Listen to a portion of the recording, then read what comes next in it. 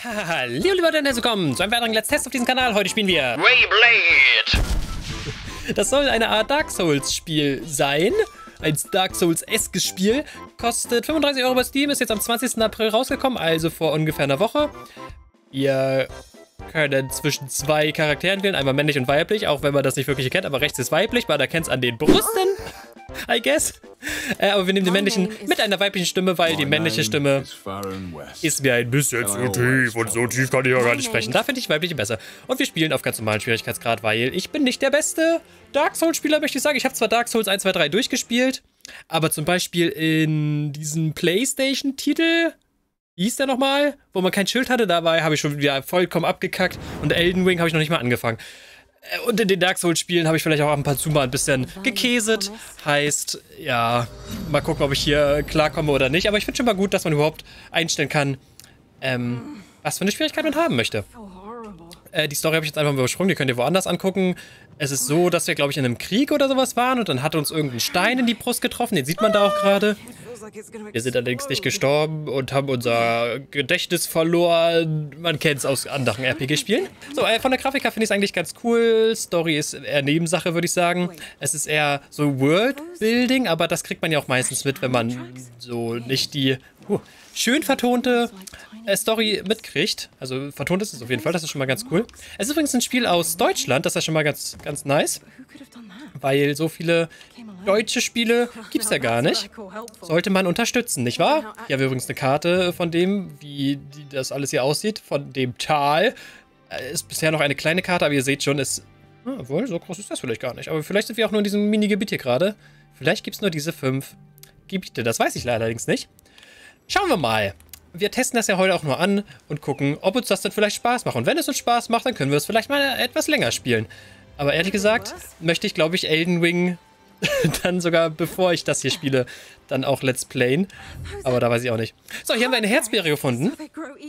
Es nervt mich übrigens jetzt schon, dass sie die ganze Zeit redet. Klar, wenn man alleine spielt, dann ist das vielleicht ganz cool, dass alles vertont ist, aber für so einen Let's Player ist das schon ein bisschen abgefuckt. So, diese Herzbeeren sind auf jeden Fall, so wie die Eskus Flask bei äh, Dark Souls. Und hier haben wir auch unser erstes Schwert, ein rostiges Schwert allerdings, das noch nicht so viel drauf hat. Man kann einen leichten Angriff machen, man kann einen schweren Angriff machen. Hier hinten gab es, glaube ich, sonst gar nichts, außer ein, äh, einer neuen Waffe. Dafür aber eine, eine ganz coole Waffe, wie ich finde, nämlich ein Wooden Club. Yeah! Kann man die Waffe wechseln, muss nicht mal in das Inventar gehen dafür, auch sehr cool. Und damit können wir quasi Home Runnen. Ich habe schon ein bisschen reingespielt, deswegen kann ich euch jetzt im Schnelldurchlauf erzählen, was hier alles abgeht. Quasi der Goldene Orden und alle, die eigentlich in dieser Welt so das Sagen haben, die wurden hier alle umgebracht auf spartanische Art und Weise. Finde ich übrigens sehr cool, was sie so anhaben. Hier, der Rote, der hat doch so, so eine geile Rüstung an. Wie konnte der sterben? Das war mein Held, mein Kindheitsheld. Ich hoffe, ich kriege so eine Rüstung auch noch irgendwie. Obwohl unsere Rüstung natürlich auch nicht so doof aussieht. Oh, ich glaube, wir haben sogar was Neues bekommen. Hörschelm? Ja, ein Hörschelm. Cool. Fand ich vorher cooler. Aber als Hörschelm sehen wir natürlich männlicher aus. Und männlich muss man sein, damit man Baseball spielen kann. Ja, ja. So, man würde vielleicht denken, das hier ist ja ein Lagerfeuer. Könnte ja sein, dass man hier dann quasi rastet und seine Seelen Oh, ich weiß gar nicht, ob es Seelen gibt, Leute. Aber ist nicht so. Nicht, nicht das Lagerfeuer ist unser Bonfire, sondern hier so ein komischer Lebensschrein quasi. Hier wird man dann immer wieder zurück teleportet, wenn man dann sterben sollte. Werde ich natürlich nicht, weil ich bin ein Profi. Und man kann den so oft anwählen, wie man möchte und dann kommt immer wieder so ein kleines Feuerwerk. Yay! Sieht auf jeden Fall hübsch aus. Erinnert ein bisschen an Ori at the Blight Forest. Da, wo man die ganzen äh, Fähigkeiten herbekommt. Ach, es soll übrigens auch so, wo ich gerade von Ori rede, so ein bisschen ein Metroidvania sein. Das heißt, Wahrscheinlich wird man ein bisschen in der Welt hin und her laufen müssen, also mit Backtracking etc. Pflastergras, nice. Ähm, weil man vielleicht an Orte dann später kommt, an die man jetzt vielleicht noch gar nicht so direkt hinkommt. Also Metroid, oh, das ist unser erster Gegner. Metroidvania heißt ja, man kriegt Fähigkeiten und kommt so dann weiter. What a bother. Aber ich finde cool, dass das alles synchronisiert ist. Leider nur auf Englisch, soweit ich weiß. Oh, scheinbar auch auf Lateinisch und Spanisch. Ich finde sie so ein bisschen keck, wie sie redet. Das könnte mit der Zeit noch ein bisschen nervig werden. Genau das. Aber für den Anfang ist das vielleicht ganz nett. Gut, kommen wir zur Kampfmechanik. Ihr seht schon rote Angriffe, die muss man äh, parieren, ne, ausweichen mit B. So, und da haben wir nämlich die Brücke zu Straight Lights, was wir ja neulich auch gespielt haben, wo man auch äh, auf die Farben achten musste, die die Gegner so haben. Äh, und dementsprechend, oh, das war sehr früh, äh, agieren musste. Alter, okay, ich hab's gerade noch nicht so drauf, weil der einfach in Zeitlupe angreift. Woo! Cool. Oh, X. Bam! Okay, das hatte schon Wumms. Achso, da wird es noch eine zweite Mechanik geben. Also genauso wie bei Straight Lights eigentlich, außer dass das Spiel hier vielleicht noch ein bisschen besser aussieht und eine farbenfrohere Welt bietet. Also ich glaube, ich würde dieses Spiel, auch wenn ihr jetzt noch nicht so viel gesehen habt, tatsächlich auch Straight Lights vorziehen. Äh, okay, da sagt jetzt nochmal, dass man mehr Energie zurückbekommt, wenn man im richtigen Moment besser ausweicht. Zack. Ja, ja, greif euch an. Los, greif an. Uah. Okay, ja gut, das war halt gar nicht ausgewichen soweit. Aber jetzt! Und dann kriegt man Energie zurück und dann kann man auch besser angreifen. Ihr seht oben links meine Energieleiste. Das ist diese grüne Leiste. Alter, das ist sau schwer, wenn man reden... Oh Gott, ich sterbe einfach. Wenn man reden muss. Ah! Und gleichzeitig kämpfen muss. Ich schwöre, als ich... Ich sterbe halt einfach. Ich bin halt wirklich tot. Als ich das mal ausprobiert habe, bin ich kein einziges Mal gestorben. Oh, aber jetzt sehe ich auch mal den Finisher von den Gegnern. Das ist ja auch nicht schlecht. That never happens before. I, I swear. Scheiße. Oh, aber die Zeit ist jetzt anders. Guck mal, es ist jetzt dunkel geworden.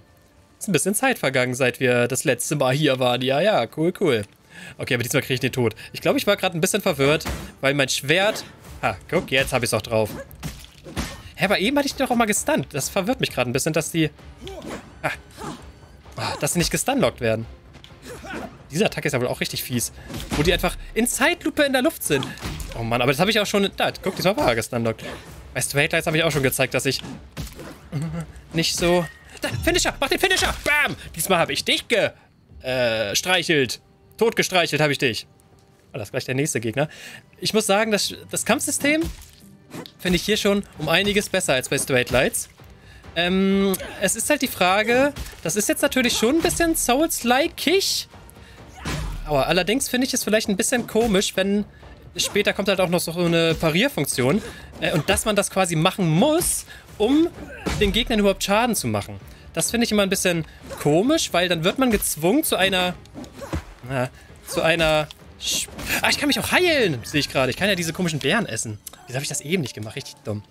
Ähm, genau, man wird gezwungen zu einer Spielweise, um den Gegner oder um weiterzukommen. Das finde ich ein bisschen blöd. Das haben die bei Dark Souls besser geregelt.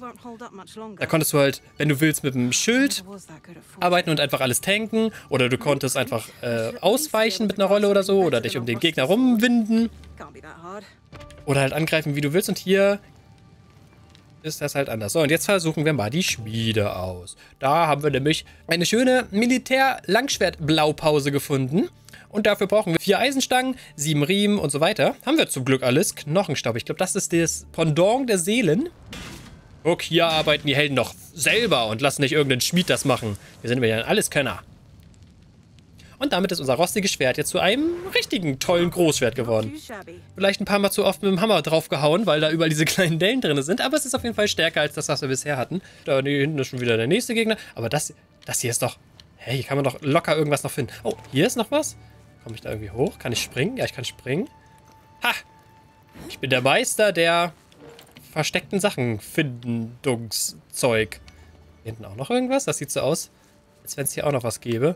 Tatsache. Was ist das? Ein Kübel. Cool. Ach, nur einsammeln. Oh, ich dachte, wir können ihn jetzt aufheben und kaputt machen. So, so Zelda, Zelda-Style. Aber anscheinend haben wir einfach eine neue Farbe gefunden. Genau, das ist auch ganz cool. Man kann seine Farben ändern, wie man will. Was für ein Player man ist. Wir haben jetzt gerade beige gefunden. Ja, passt zu unserem Hirschgeweih-Dings, ne? Ja, nehmen wir mal. Cool. Guck mal, jetzt sehen wir schon viel cooler aus. Jetzt haben die Gegner viel mehr Angst vor uns. Da hinten war doch noch einer. Hallo! Ich glaube, genau, jetzt kriegen wir die blauen Angriffe gezeigt. Das sind die Parierangriffe. Und ihr seht schon, also man muss nicht so ganz viel darauf achten, wie bei Straight Lights. Y ist das, okay äh, dass man halt immer die Farbe wechseln muss, sondern man muss einfach nur achten, greifen die jetzt, uh, ich habe pariert, mit einer blauen oder einer roten Attacke an.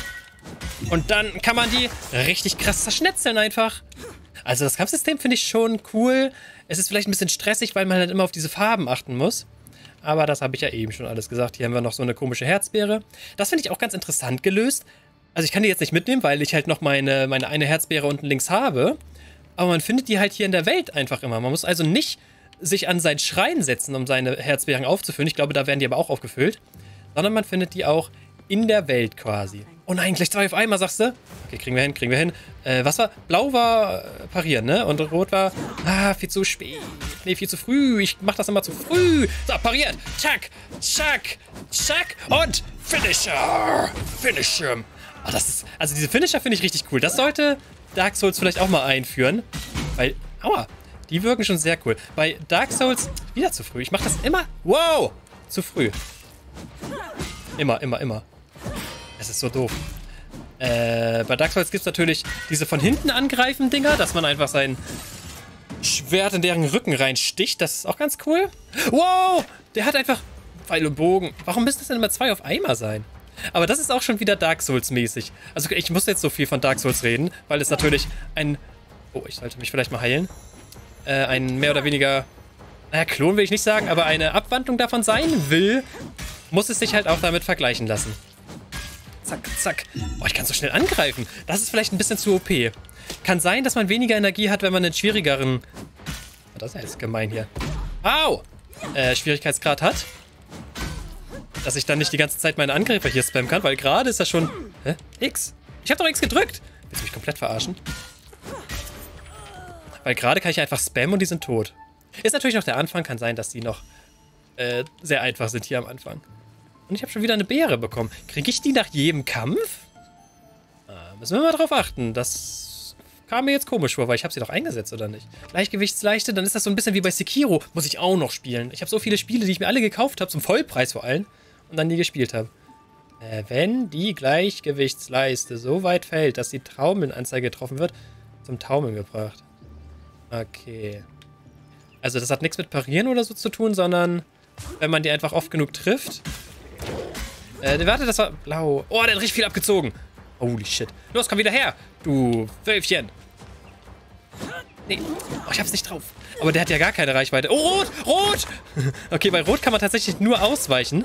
Ah, oder auch nicht. Er taumelt. Blau und Finisher Move. Nice. Was bringt mir der Levelaufstieg, ist die Frage. Du bist ein Level aufgestiegen. Fertigkeitenbaum. Aha, so haben die das mit dem Metroidvania gelöst. Man kriegt die nicht in der Welt, sondern man kann sich im Fertigkeitenbaum verbessern. Oder vielleicht sogar beides. Aber das ist ja ganz schön viel hier. Und anscheinend gibt es auch ein Waffensystem, merke ich hier gerade. Also je öfters du eine spezielle Waffe benutzt, umso mehr levelt die auf. Ah, das ist cool. Und dann kriegt man auch neue Fe Fertigkeiten genau für diese Waffe. Ähm, so, jetzt haben wir natürlich Schwerter. Es gibt es dann wahrscheinlich auch noch ah, leichter Angriff, verbesserter schwerer Angriff, Spezialangriff. Was noch? Gesundheitsaufwertung, Energieaufwertung, Herzbeerenvorrat. Herzbeerenvorrat ist, glaube ich, das Allerwichtigste. Okay, ich habe jetzt aber da unten aus der Leiste irgendwas genommen. Ich glaube, ich kann jetzt zwei Herzbeeren tragen. Aber, ah, aber man kann auch an den äußeren Rand hier gehen. Was gibt's denn hier alles? Ah, das ist mein spezielles Militär-Langschwert. Das könnte ich verbessern. Äh, ist das dann für alle Langschwerter? Weiß man auch nicht. Kann den leichten Angriff erhöhen. Etc. Was ist diese komische Katze? Synchronisation. Ferns Treffer erzeugen zusätzliche Synergie, was auch immer das bedeutet. Aber Aufleveln scheint dann auch ein bisschen wichtig zu sein. Können wir uns an den anschleichen? Ah ja, hinter, Hinterhaltsangriff. Langsam von hinten, indem du LS leicht bewegst. Okay. Können wir den dann backstabben? Das wäre natürlich richtig cool. Nee. Aber einen schweren Angriff können... Oha! Oha! Voll aufgespießt. Und es hat ihm nichts ausgemacht. Boom. Vielleicht macht es dir ja was aus, wenn ich dich von vorne aufschlitze. okay, ich glaube, das war, ein, war das Tutorial. Wow. Hä? Okay, Backstabben gibt es also auch. Es geht vielleicht nicht im Kampf selber. Eine edle Tracht haben wir gefunden. Aber geht auch. Nice, nice, nice. Es gibt ganz viele Sachen zu farmen. Das ist irgendwie auch dieser Genshin Impact. Impact, Genshin Impact, Impact. Dass man überall hinterherlaufen muss, was glänzt und funkelt und alles einsammeln will. Das ist für mich der Genshin Impact Impact. Ach ja. Aber halt, das einzig Doofe ist, man kann nichts kaputt machen. Man kann keine Fässer kaputt machen, man kann keine Truhen kaputt machen. Das macht doch Dark Souls gerade aus, oder nicht? Richtig sad, Leute. Also da haben die Entwickler auf jeden Fall Potenzial verschenkt. Möchte ich mal meinen. Ein verschlossenes Tür. Rätsel, Leute. Rätsel gibt es auch in diesem Spiel. Das wird ja immer besser. Äh, ja, also es wird hier irgendwas mit Strom zu tun haben. Wir sehen, hier fehlt ein Ochsenkopf, vielleicht ein Stierkopf oder so. Da ist er schon drin. Komm, hier können wir nochmal schmieden, wenn wir wollen würden. Das, nee, ist eine andere Schmiede. Oh, da hat mich einer gesehen. Yo, was hast du denn für eine coole Axt? Die will ich auch haben. Warte, der greift mit... Nee, der greift mit beiden Dingern an. Jetzt taumelst du, ne? Gleich taumelst du und dann bist du fast tot. Zack, zack. Rot. Oh, rot war... Rot war das andere. Ich habe mich wieder nicht geheilt. Aua, ja, über, übertreib doch nicht. Bin schon tot und er knibbelt noch weiter auf mich ein. ah, da hat aber jemand einige Aggressionen in sich. Damit hier habe ich noch ein Hütchen zu rupfen. Äh, warte, warte, warte, ich warte. Ich muss dich erstmal anvisieren. Du kannst mich doch nicht angreifen, bevor ich... Oh, der macht richtig viel Damage. Heil dich. Oh Gott. Warum ist er so stark? Das ist einfach ein Mini-Endboss. Ich, ich, ich kann mich nicht mehr heilen. Oh Gott. Stimmt, gibt es Endbosse? Oh, ich habe die falsche Taste gedrückt.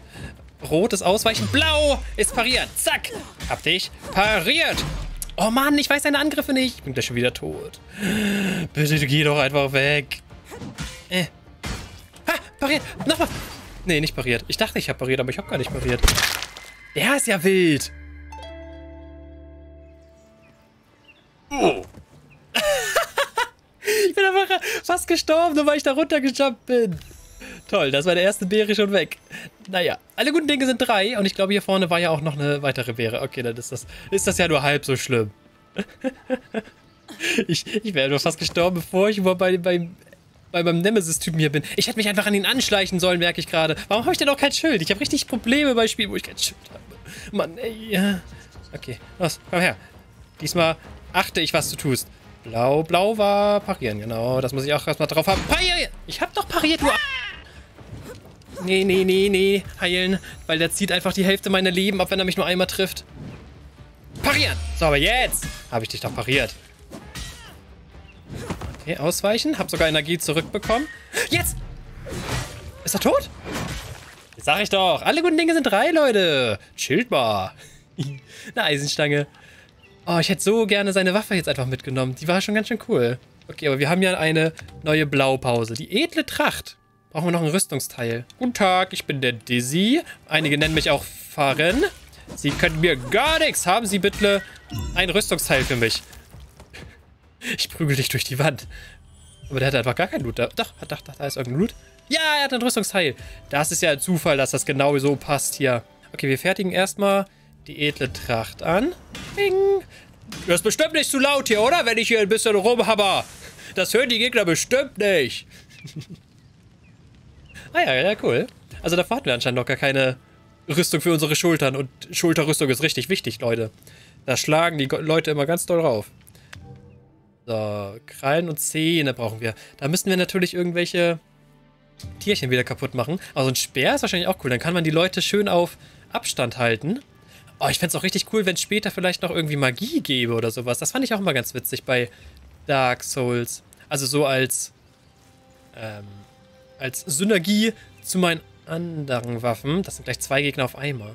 Wollen wir gucken, ob wir die von oben angreifen können? Mit so einem Downhieb?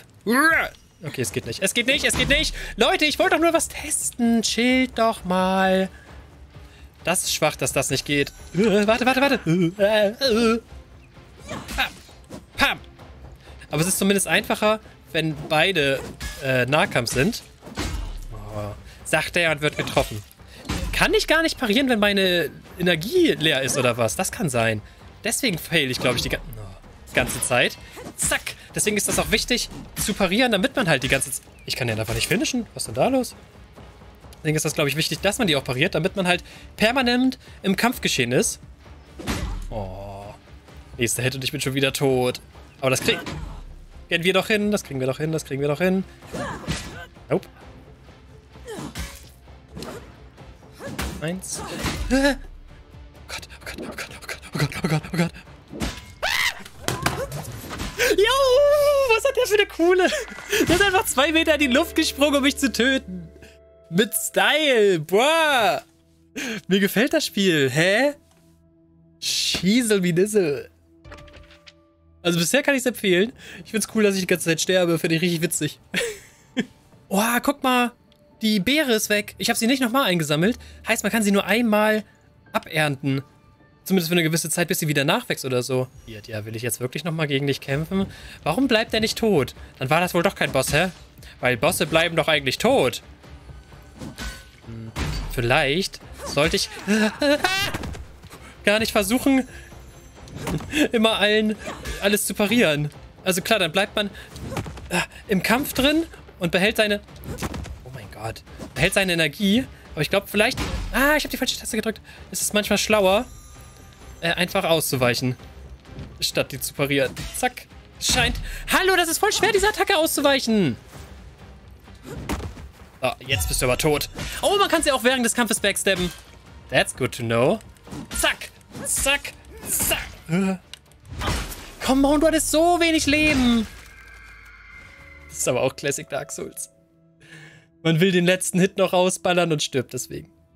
Tag 7 in dieser schlimmen Welt, wo ich schon fünfmal gestorben bin. Okay, jetzt aber mal ehrlich. Bam! Jetzt bin ich im Abenteuermodus. Zack. Hey, guck, manchmal ist er voll einfach, manchmal nicht. Diesmal hat er ja gar keine Schnitte gegen mich. Ähm, bevor wir hier jetzt alles erkunden, folgen wir einfach mal dem komisch witzigen Leuchteding. Da vorne ist es. Oh, Der Mohau. Ach, da unten. Da unten ist mein komisches Lichtwesen. Dann kriegen wir vielleicht jetzt eine neue Fähigkeit, dass wir irgendwas mit diesen äh, magischen Dings machen können. Neuer Gegner, irgendein Krabbenviech. Äh, okay. Hi. Also es gibt zumindest auch einige verschiedene Gegner. Dann verstehe ich die eine uh, äh, Bewertung nicht auf Steam. Da meinte nämlich einer, die Gegner wären, oh, würden sich immer gleichen und sowas, aber ist ja gar, gar nicht so. Klar, sie gleichen sich da drin, dass man die vielleicht ähnlich besiegen muss, aber die haben ja trotzdem ihre eigenen Kampfmuster und sowas. Sehen auch anders aus. Verstehe ich dann nicht. Gut, ach, da haben wir unser komisches Teil. Dann können wir endlich das Rätsel lösen und gucken, was hinter der coolen, großen Tür sich verbirgt. Und hinter dieser Tor... Wir sind in irgendeinem so Tempel drin, wie es aussieht. Ich würde jetzt aber trotzdem gerne noch einen Boss sehen. Irgendwie muss es ja wohl Bosse geben, sonst wäre das ja kein Souls-like. Sieht das da unten wie ein Boss aus? Er sieht zumindest groß aus. Aber wo ist denn meine Nebelwand? Ja, komm. Let's go. Was bist du für ein Viech? Ja, genau. Okay, kriegen wir doch hin. Große Gegner bin ich immer richtig gut. Da ist meine Energie weg. Alles klar. Der scheint ein bisschen dämlich zu sein. Hallo? er hat instant vergessen. No talk me, I'm angry. Du hast mich zweimal getroffen. Ich bin jetzt sauer. Hallo? Bist du komplett weg? Was ist denn mit ihm? Hat er jetzt wieder drauf, dass ich da bin? Ja, okay.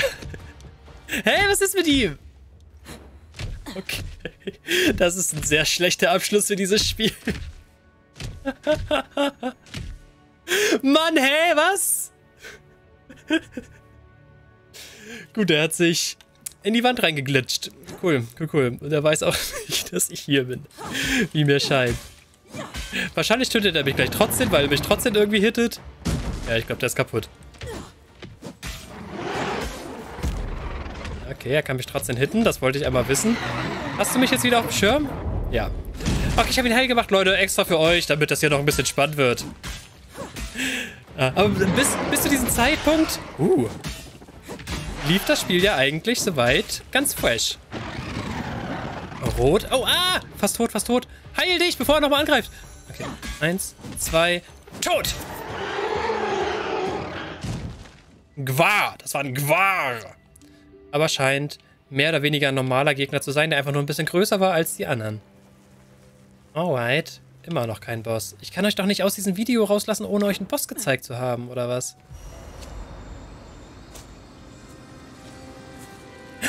Ah, das ist der Typ von dem von dem, von dem Cover, von dem Spielcover. And so, the mysterious guide finally reveals himself. Ein Fairy. It is I, Boji, apprentice to the greatest sage of Akria. But don't confuse me for just anyone. No, you stand before the first and only disciple of Eri, the great sage.